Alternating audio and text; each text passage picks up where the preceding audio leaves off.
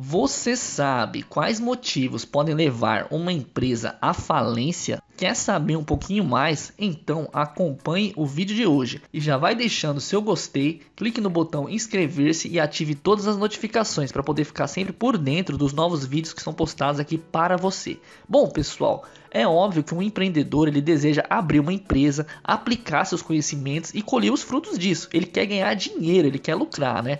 Mas não basta apenas um empreendedor conhecer muito do seu produto ou serviço se todos os outros fatores necessários para uma empresa decolar acabar falhando. Então são vários e vários fatores, né?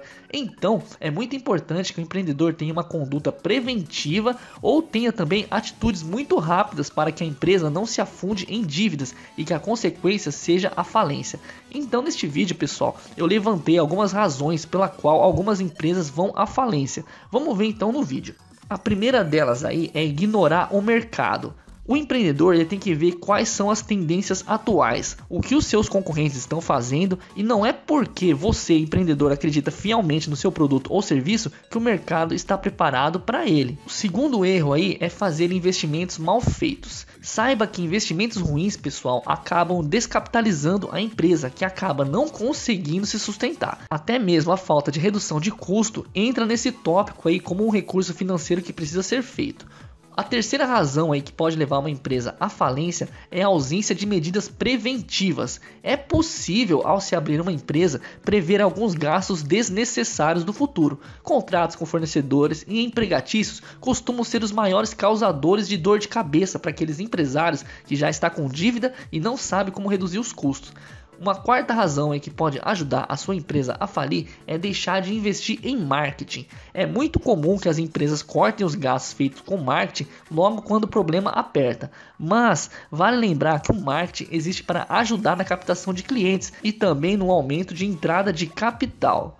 A quinta razão aí que leva empresas a falir é não investir em inovação. Essa razão aqui, pessoal, ela reforça a questão do empreendedor acreditar demais no seu produto ou serviço e não enxergar que o novo pode agregar valor para a sua empresa. É necessário fugir da estagnação e a inovação é a maior aliada para isso. E o sexto motivo que eu trouxe aqui para vocês, pessoal, é a ausência de assessoria jurídica. A assessoria jurídica é o que vai ajudar a reduzir custos, entender contratos para que não haja futuras dores de cabeça. Investir em um profissional para poder lhe assessorar é muito inteligente. Então é isso, empreendedor, seja assertivo na gestão do seu negócio em todos os setores e trabalhe no sentido de evitar cada um deles, cada um desses erros aqui.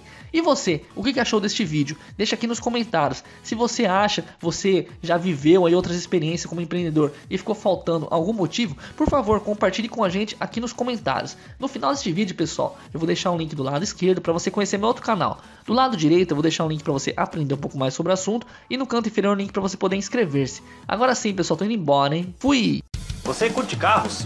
Quer saber mais detalhes e curiosidades sobre vários modelos? Quer uma opinião imparcial e sincera? Então vem com a gente! Nós somos engenheiros que não entendem nada de jornalismo e que somos apaixonados por carros.